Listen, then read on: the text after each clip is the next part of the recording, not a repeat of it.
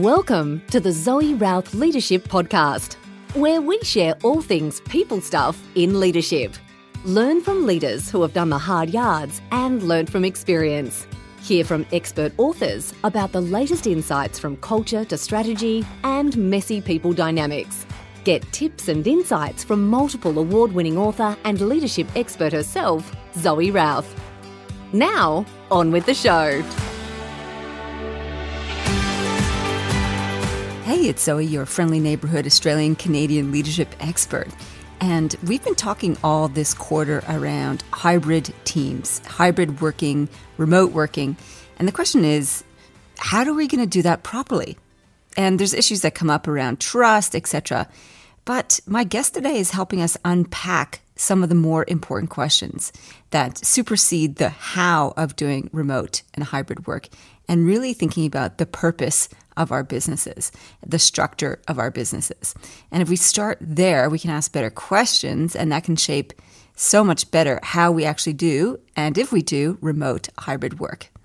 We had a far reaching conversation which talked about Vikings, anything from Vikings through to innovation, through to the hybrid working environment. His name is Bruno Pešec, and he is originally from Croatia and now works in Osho, Oslo, works in Oslo, Norway. So I call him my Croatian Viking friend.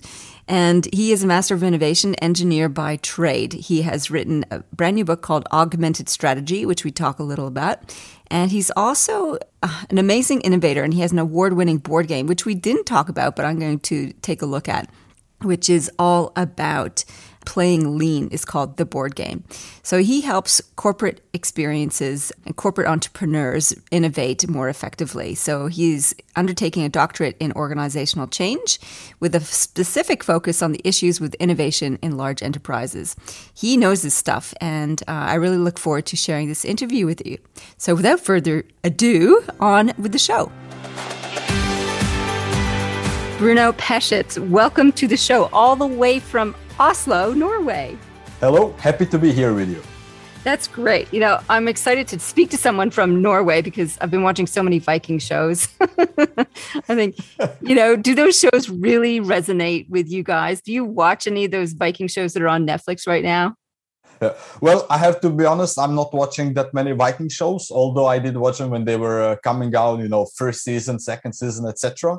Uh, but what I would suggest to anyone visiting Norway is uh, not just to go to Oslo, but try to go, you know, to Lofoten, Stavanger, other places in Norway, and you have these amazing Viking museums. So, for example, in Lofoten, uh, you have a whole village, you know, that you can visit. You can go on a on a Viking ship for a little bit of a sail. Uh, you have basically, um, I don't want to say actors, but the people in museum are all dressed up, you know, like role playing. So it's not like you know traditional museum, but more like a living museum thingy. So it's it's pretty cool. And and of course, you know, media is always media. Some things didn't exist, but it doesn't matter. It's entertaining. it is. It's really entertaining. I, I, love that period of history, and I love the Viking stories. So, um, so yeah, welcome to the show, my Viking friend Bruno.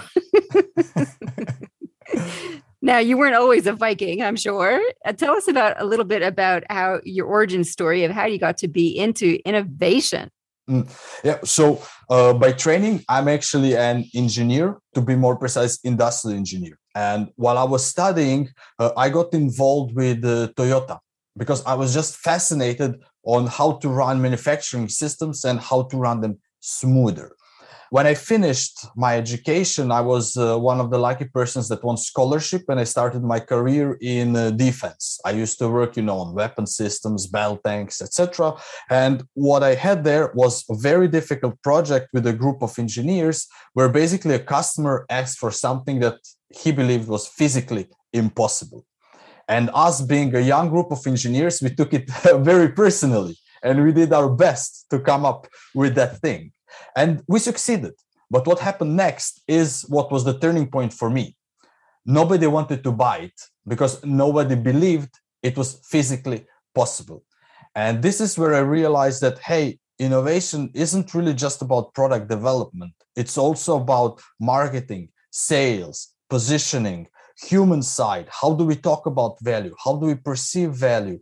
how do we run organizations and etc and from there you know that was more than 10 years ago. Somehow i ended up traveling the world working with large organizations helping them innovate and settling here in norway. So that's kind of in a nutshell.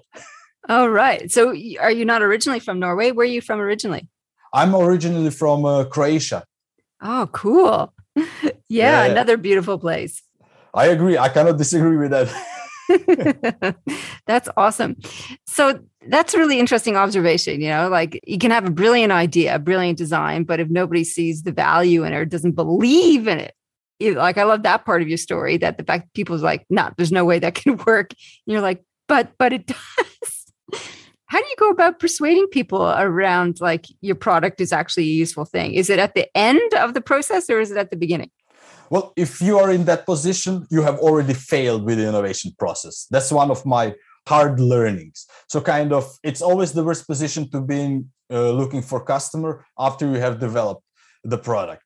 Kind of the best thing, the best practice in the innovation space is starting actually from the customer, from the existing need, from some existing behaviors, and then trying to match and overcome that instead of trying, you know, to ask a group of engineers, what do you think is the most brilliant thing to do? because I remember, I mean, when I was still working as engineer, we were always curious about the most technically advanced solution, not necessarily what, would bring the most value or benefit to the customer. And that's why today I, I like to say the difference between invention and innovation is exactly the value component. So you can invent something new and radical and disruptive, but if it doesn't create value for the user, I don't call it innovation you had your time you invented something new and cool but if no one is using it haven't created value sorry still not in the innovation space and as you ask what's the easiest way start from the customer. Always need to understand the customer. And here there's uh, the popular not dogma but popular wording in the last 10 15 years was kind of and still is love the problem not the solution. And that's in the good direction. But if you look at a lot of popular products like iPhone, iPad, and the whole Apple line, if you want, it's not really satisfying specific problem, but specific set of desires, intentions, outcomes. Uh, the most valuable intelligence you can have about your customer base is how and what for are they actually using your product. So I know it's it's an older example, but I love using it because it's a good example. When you say, you know, people don't get drills to have a drill, they get a drill to make a hole. Of course, where we need to make a difference is are my customers handymen or are my customers, you know, regular people that just need to make a hole once a year? And then you start diverging and looking into it. So you cannot always use the same reasoning. But the idea behind the example is figure out how and what for are customers using your products and services if you understand that you will be at better position to come up with products and services that they are more likely to buy so you see there's a whole string of assumptions that don't necessarily always work out because innovation is never 100% guaranteed but you're much better off than trying to come up with a product and then persuade people to purchase it I'll, I'll just stop here for a moment. yeah, no, I get that. I'm trying to imagine working with a bunch of engineers and being told to stop being so smart on your own. And you actually have to get in the minds of people who aren't engineers. And, uh, you know, my dad's an engineer. So I say this with love. Engineers have a very set view of the world often. So you you are one. So you know you've been through this path. How do you actually help technical people start to think about people because people are messy things, whereas, you know, engineering problems are intricate and complex in a very different way to people. So how do you get them engaged in the people stuff? Well, I can start from from my side. So for me, as I said, that project was really the trigger to start looking into the the whole broader ecosystem. In my experience, so yes, engineers are as you describe them, uh, but in my experience, it's often that it's just a lack of awareness not not really kind of uh, purposefully ignoring the end customer. But kind of you know uh, give me my systems. I like designing them. I'll go to the shop floor etc etc etc but they work well with design requirements. So if you actually provide hey the customer actually would appreciate x y and z most of the engineers in my experience will go oh that's easy. I, I, can, I can do that. That's the only thing they're asking for. So it's more like of framing and putting it in in front of them and everybody loves seeing their product used. And that is something where in my experience uh, companies go wrong or engineering having companies go wrong because they either don't allow or don't expose their engineering departments to the customer enough. Because usually in i'm here talking about traditional manufacturing organizations where you will have r&d product development and operations usually engineering will be before operations. So operations would be closer to the let's say customer than necessarily engineering department itself.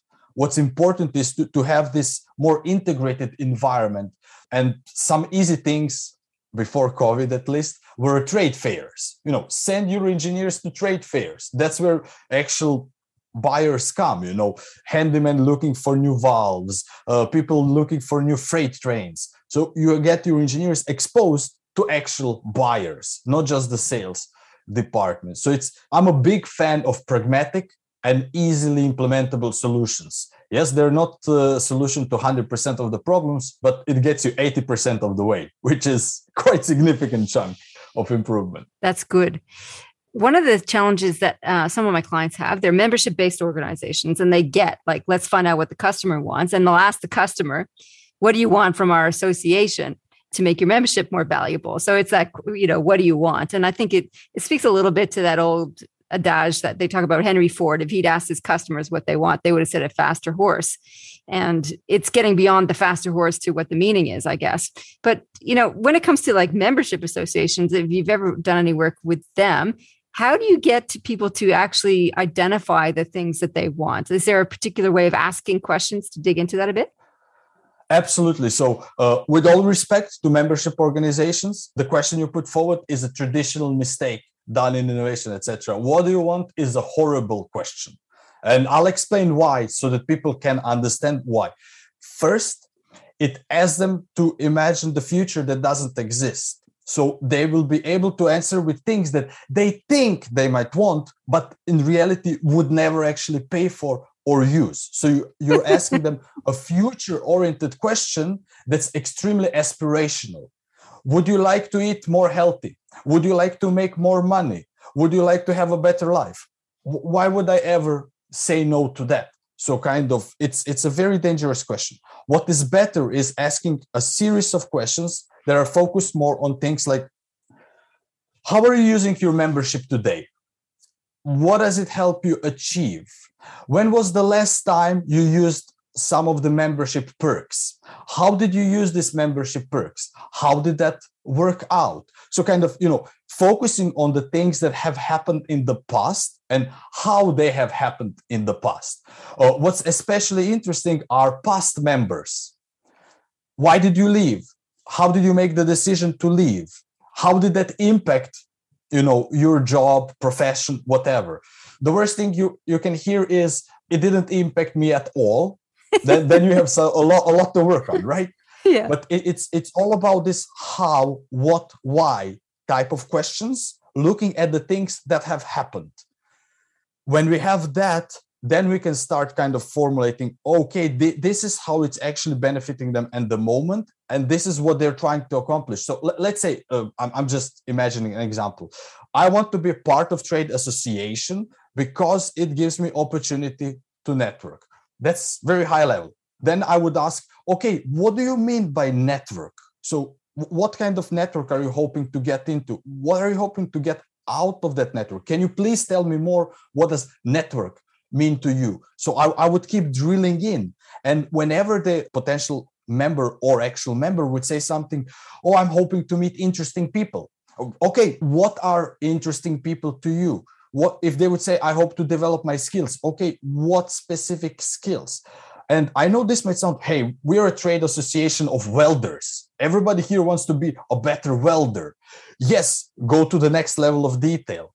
How? Where? Are they expecting training? Are they expecting tales from the trenches? Are they expecting discounts on their uh, welding certifications? You know go to the next level of depth. So that is kind of with member associations. And especially member associations need to remember that most of their well, at least in Norway, my experience, not sure about Australia, most of their models are kind of subscription based, annual based, and uh, most of them in in European context, from my experience, I think adopted the wrong strategy of saying you're legally obliged to be part of the association in order to, to check something. So then everybody consider it to be kind of a tax on their profession. If we go back to what you asked me, and I said innovation is about value. If you want to be innovative in your trade association, you should not focus on being a tax on profession, but adding value added services, advice, connections, whatever is important in your trade. Now, that's an amazing thing that you can assume people would be willing to pay for happily. yeah, yeah, I think that's wonderful. So I'm just thinking about the conversation I had with one of my industry associations. Well, it was yesterday actually, and they're doing the strategic planning at the moment, and they're thinking about how can we be of service to our members and they sent out a survey say you know what kinds of things can we do to improve your membership? And I, if they'd had your questions that would have been heaps better. Yeah. Uh, i want to comment on that as well because uh, what i walked you through was uh, more of a qualitative in-depth open-ended conversation. Uh, surveys can be very potent but unfortunately are quite misused. So there is an open-ended survey and there's a survey that, that's more closed with a lot of leading questions would you like us to introduce A? Or uh, how satisfied are you with the, the, the. Uh, these kind of things are good only if you know the questions, if you're very, very confident in your questions. So, two question surveys that, that I quite like. So, the first question is how important benefit A is for you? And then, how satisfied with benefit A are you?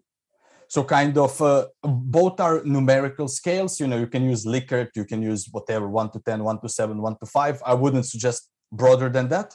And then for every benefit, both questions. Why both? So one question actually quantifies how important this benefit is to them, while the other question uh, quantifies how well met their need is.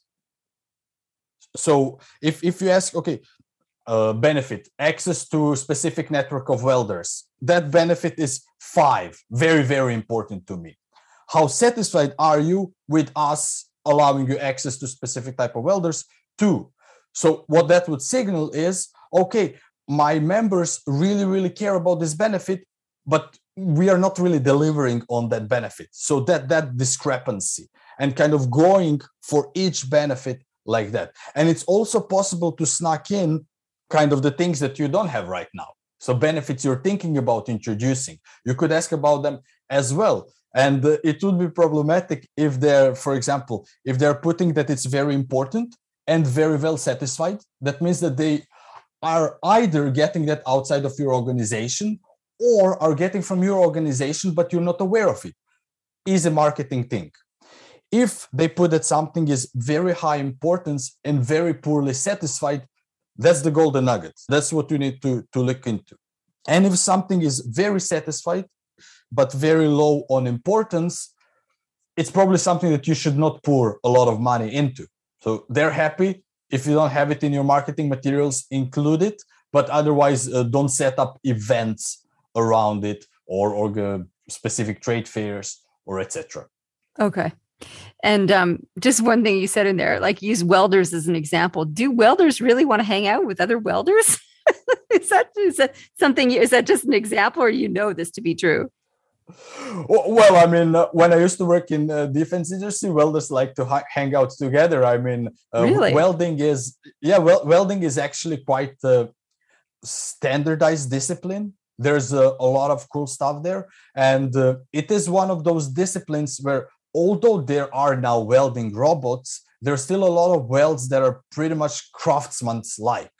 So you, you still have that master apprentice dynamic happening. So th- that's that's why I guess they, they also have this benefit from hanging out because there is significant difference between someone who has been doing specific type of weld for 10, 15 years and between someone who just started, you know, two to three years ago. So it, there is this master apprentice journeyman dynamic. Thank you. That's really helpful. And I would be such a terrible welder. It would be all the seams would be lumpy and crap. yeah. Um, so that's really useful in terms of getting at the front end of innovation and being really focused on the end user and digging into their needs and so on. You've got a new book out called Augmented Strategy. So tell us a little bit about what's going on with this book. What's it about? So, uh, this book came out of a simple question.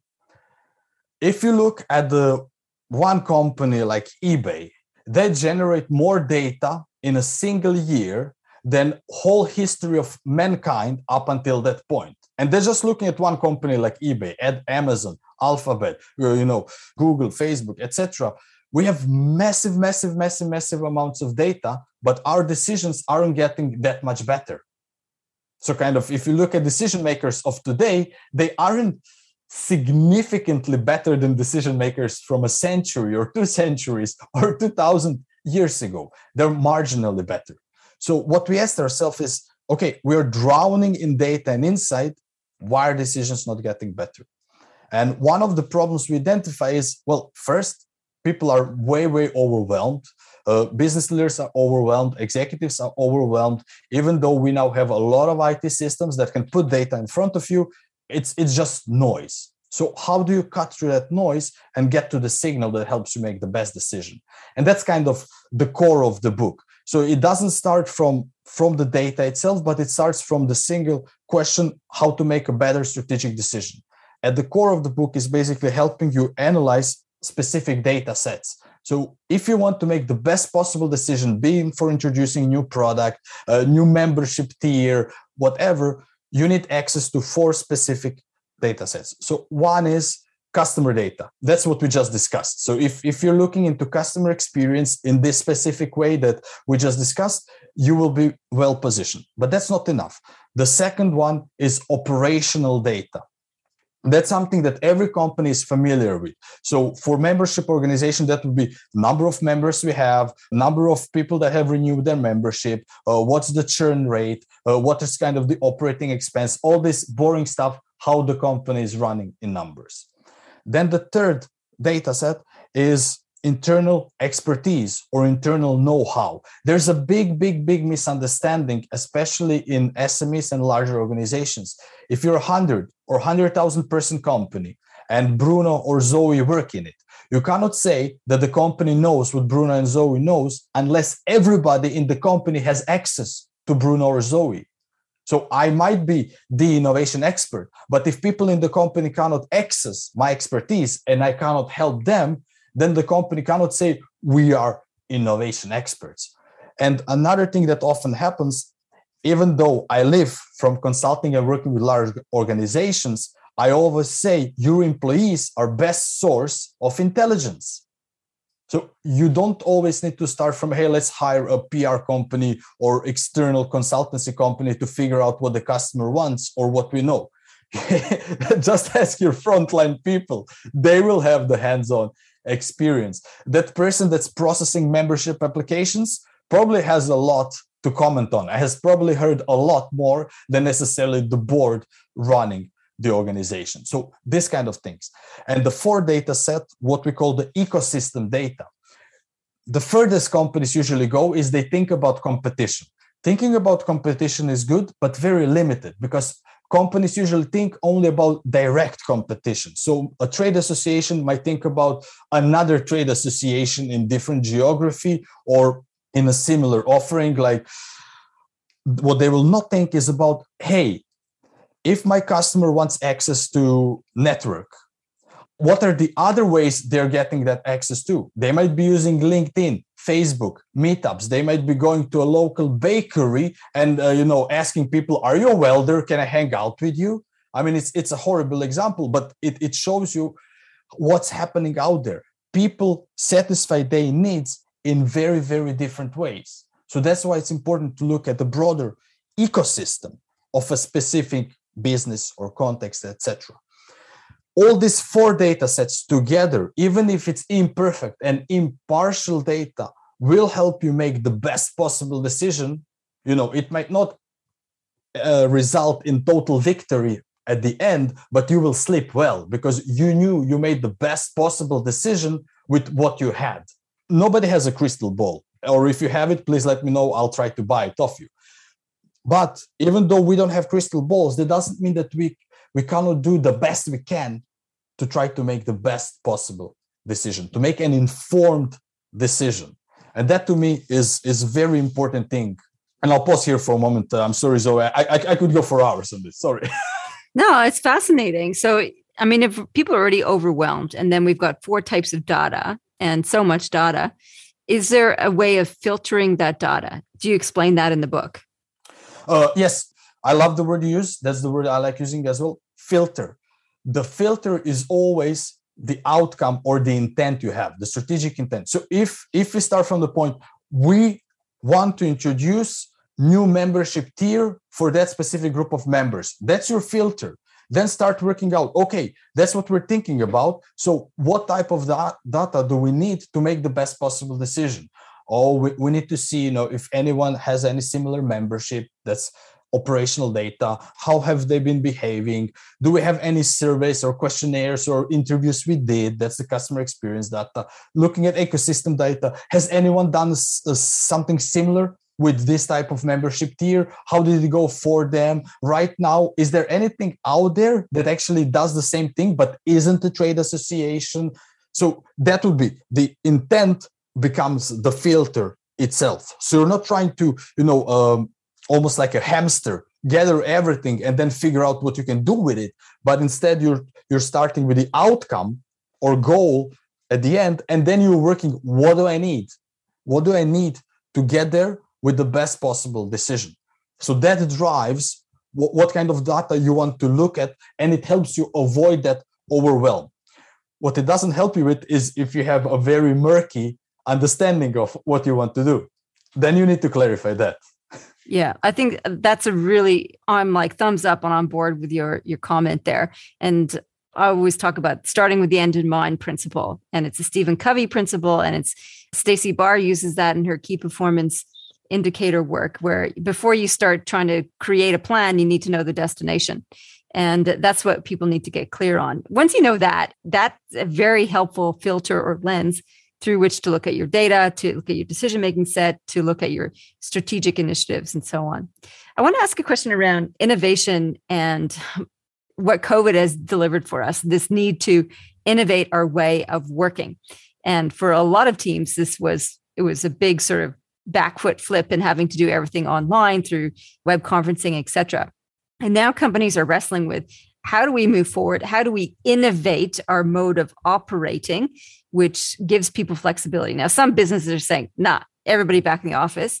The more sensitive, flexible ones are saying there's got to be a hybrid model here. So some people work from home, some people come into the office, or individuals have a blend of both. How can we apply innovation mindset to this whole how do we develop our work context? So, what would be the steps that you suggest for that? Mm-mm. So first, I'll be speaking mostly uh, from Nordic perspective, and wh- why I'm saying that is first in the Nordics there is above average trust between regular employee and citizen and the institutions which is important actually to a lot of questions related to hybrid work because one of the things we can see in hybrid work that there's hesitancy from middle management because they feel if i don't see you i can't control you. Can i just ask bruno can i ask a good question about that? Why is that like why do you start with that? Like why do you think it is that the norwegians have such a strong faith in institutions? Well it's historical mostly so kind of uh, th- this is a paraphrase story of norway. So norway used to be one of the poorest countries in europe until they discovered oil. Uh, they were actually so poor that they couldn't extract oil. So first they, they went to sweden but sweden uh, played a hard deal on them so they had to go alone and start extracting it. They succeeded that's what, where norway is today but they did few genius things. They said even though we found now a lot of oil and we are able to monetize it, we will put it all aside. A majority of that money is put aside in the biggest pension fund in the world. That's sometimes called the oil fund. Officially, it's called Norwegian Pension Fund. It's it's the biggest fund in the world. And what is happening, for example, in Norway, people don't have so much problems with the taxes because they can say you see that school? You see that hospital? I mean it's it's not all green and roses here but people have much closer relationship to the institutions because they can see money from institutions being spent in their communities.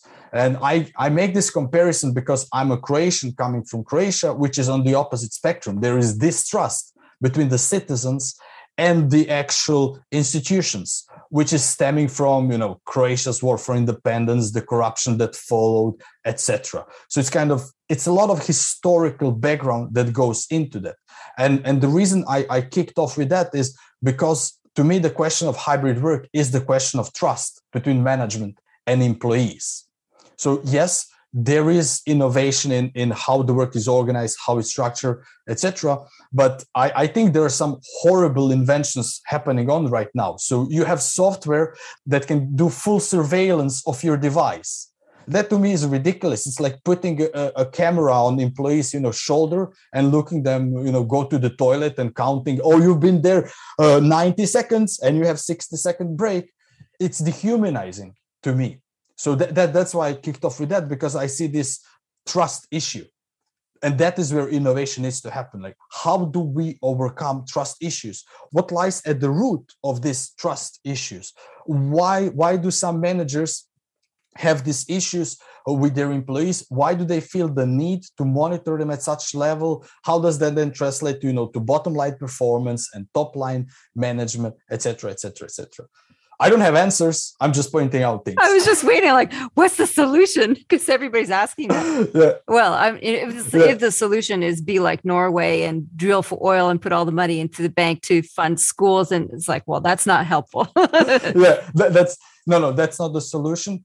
There is another connected issue, and that is when people have perception that I'm paid for eight hours, then there's also peer pressure. You know, what you, you want to work four hours? I don't see if you're actually doing the work.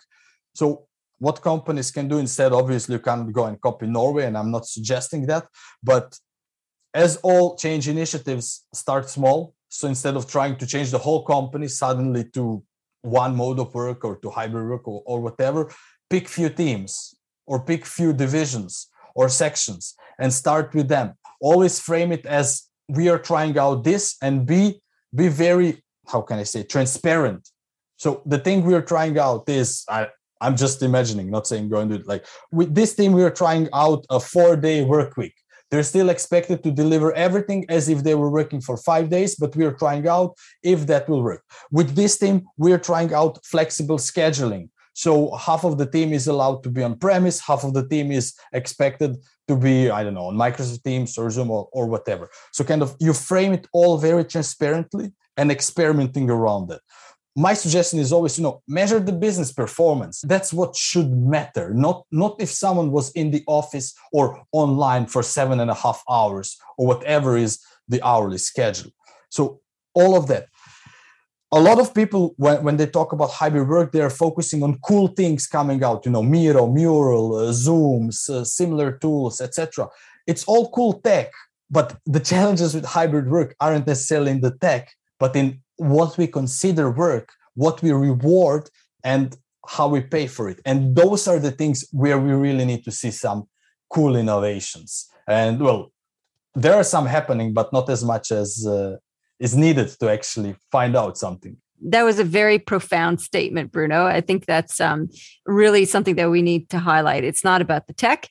It's not even necessarily about the work structure. It's it's more fundamental questions, right? Which is what are we here to do as individuals, regardless of where we're working from and which methodology we're using? What is the result? Coming back to what we were saying before, like what's the destination? And when we have clarity around that and we're clear about how we're going to measure that, then measuring the inputs isn't as important as measuring the progress towards that end goal. So if people work two hours a day and they're getting us closer to that outcome, then that's awesome. And it shouldn't really matter whether it's two hours or eight hours. And I think you're right. Like punching clocks, that came out of the industrial revolution, I think, where people were just cogs in the machine and they didn't use other capabilities apart from their bodies to be hands-on maneuvering things the reinvention of work i think is a really interesting innovation question so if you were tackling it through an innovation lens how do we start reinventing work what kinds of questions would you be asking I think we already mentioned some of the questions, which are great. Like, okay, what are we here actually for? What are we trying to achieve? And of course, uh, what, what we're discussing is there are different types of work. So, knowledge worker isn't in the same position as service worker, who isn't in the same position as manufacturing worker. So, we need to realize in what type of business are we? And that is what i would suggest as a first question even though it sounds quite obvious but i often start both innovation and strategy work is what's actually your business? Can you tell me? Like i'm i'm just i'm just a consultant who came into your work. Can you tell me what's what business are you in? And uh, that there is a great example uh, from from Stephen Bungay, uh, which I always love, is kind of uh, th- there was an executive who was really annoyed because the rest of the management group uh, had a strong disagreement on what type of business they were in. So his position was that they're not in the business of making and selling heating units to end consumers, but that they're in the business of making and selling heating units to handymen. Because no one goes to the store and asks, I want to buy a boiler. They ask their handyman, what, what, what boiler do I need to get? And then they tell them, you need to get that and that model. So those two are two subtly different but significantly different business models. Because if you're selling to the handyman you need to have manuals you need to have customer line that's accessible to them you need to have replacement equipment you need to have uh, easy to use installation equipment. While you're selling to the end consumer you would be focusing more on the benefits you know oh this is going to hit your home in that and that way etc etc etc so that is an important question. What type of business are we in and what is value in our business? What is it that makes the customer tick? From there we can start figuring out how can we deliver that? Is it possible to deliver it differently? Like if you go to the cafe server is part of it. It doesn't make sense to try to eliminate server or at least in in my worldview it, it wouldn't make sense to try to eliminate server with i don't know some robot with a face because part of human interaction and that atmosphere is what you go for you know in the french cafe or italian cafe or something like that. So doesn't make sense. But if i look at the knowledge work and we say we want to introduce new product or something by specific time if you can do that in 2 hours 4 hours who cares? If it's done it's done. So that's why it's important to start talking what business are we in? What's actually the value? And how is it delivered? So kind of thinking about the operating model and challenge it, it's basically challenging how the whole operation works. And what, what i'm proposing is i use the word challenge. Now i regret it because we are even we are even at the stage before that and that is visualize kind of really really visually understand what is your business? How does operations work how is the value actually delivered? And i'm literally thinking about you know drawing things up. If you can draw a square you can you can draw it. You, you don't need to be some uh, painter or something like that. And that is such a powerful approach visualizing things because it's easier on our brains. But more importantly when we visual things we can make new connections we can make new insight and we can make new decisions based on the data we already have. It's it's all data. Like all of that is a specific form of data. And I'll pause here for a moment. That was awesome. Uh, I think that's really incredibly valuable, and I think those are wonderful questions for leaders to consider when they're having this conversation around hybrid, remote, virtual teams. Like, uh, how do we do it?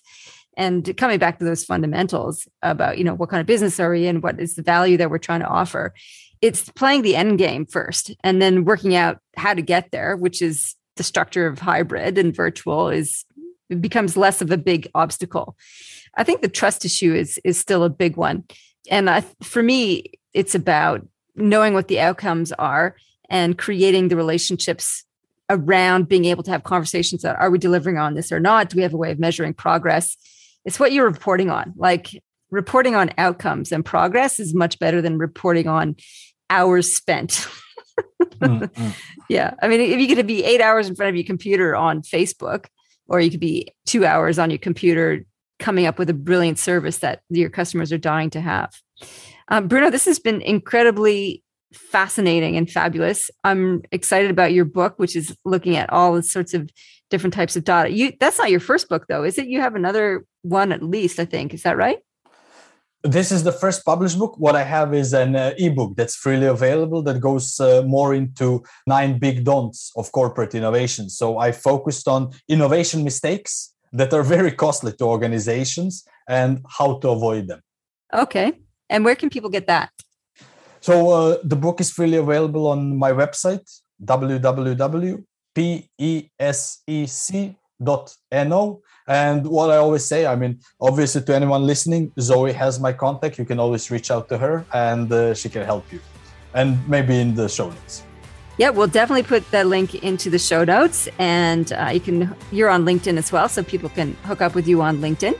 Absolutely, absolutely. Always happy to chat with people. Bruno, thank you so much for coming on the show. It's been absolutely fantastic. I've enjoyed our conversation so much. Me too. Thank you for having me. I absolutely loved Bruno's energy. What a fun conversation. He has such a rich and deep experience in the field of innovation and working with organizations to ask really poignant questions about what our customers really want and diving into getting that information so we can make better decisions. So, the key takeaway from me is to make better decisions with better data. And before you go scrounging around looking at all your data, your customer data, your operational data, your internal expertise, and your ecosystem of your data, is to make sure you have a clear filter around that. So, what is the end game? What is the result that you're trying to produce? And to use that to look at all of your data. So, that's my key takeaway. In terms of team tips and what's useful for us around hybrid and virtual and remote working is to start with the end in mind and to ask, you know, what kind of business are we? Who do we serve? What are the results that we're trying to produce? So always it comes back to that key principle, start with the end in mind. Once we know that, we can create some measures. And once we have those measures, then we can start to talk about how are we going to deliver this? And how does that work in the context of where people are going to be working, how they're going to be communicating, how they're going to actually be delivering those results. It's a much better place to start than how do we trust people if they're working from home? Don't you think? I think so. Well, if you enjoyed the show, feel free to leave us a review or a recommendation or share the episode. That always helps boost listenership. Why do we want to boost listenership? Because the world needs better leaders. We've had so many crises over the last couple of years, and it's only good leadership that's going to help us survive and thrive through it all. And so, my mission is to help people improve their leadership little bit by little bit with interviews like this, with thoughts like this. And you can play your part by sharing something that is useful from the conversations with others. If you're looking for a community of like minded peers to accelerate your leadership development, then consider Amplifiers. It's my advanced leadership training program for CEOs, managing directors, and senior executives from across different sectors. And you can join in from wherever you live because we have a remote training virtual platform. So you can have a community of peers from around the world that you can use as a sounding board to benchmark against some of the issues that you've got and to get ideas, as well as just feel like you're not alone. Because leadership, let's face it, is a tough gig. Well, I'm here for you. And thank you so much for listening in. I really do appreciate being in your ears each and every week. If you're new to the show, welcome. If you're a return listener, thank you so much for being a loyal listener. It makes doing this work so much worth it when you know that people are getting value from it. So, in the meantime, live well, lead well. You've been listening to the Zoe Routh Leadership Podcast with leadership expert Zoe Routh. For more about people stuff and to contact Zoe, go to zoerouth.com.